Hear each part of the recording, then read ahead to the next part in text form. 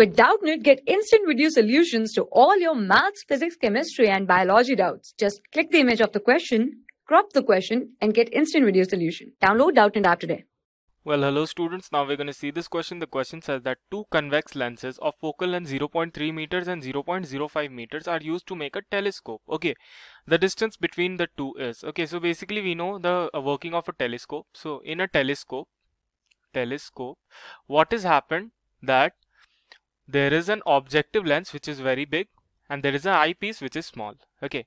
So objective lens is what uh, basically focal length is big and the uh, eyepieces uh, focal length is small. So basically what is this distance we need to find okay? This is the distance that we need to find. So basically in a telescope what we can see this is basically the telescope okay? So i'll join these two okay? This is basically you can say a telescope rough sketch of a telescope.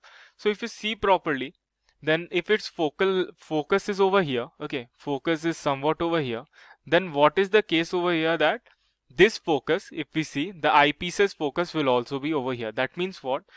Over here the distance between the eyepiece and the objective will be focal length of objective plus focal length of eyepiece. Why? Because the focal lengths must coincide in order means in order to uh, the pair to be a telescope. Okay this is a very important thing of a telescope. Okay telescope so this is a very important thing of a telescope. So basically what we can say over here is that the length, okay, distance, distance between the lenses,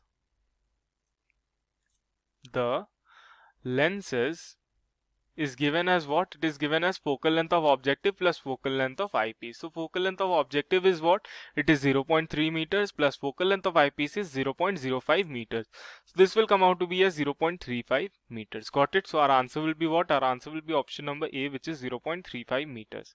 Got it? Thank you. For class 6 to 12, IIT JEE and NEET level. Trusted by more than 5 crore students. Download Doubtnut app today.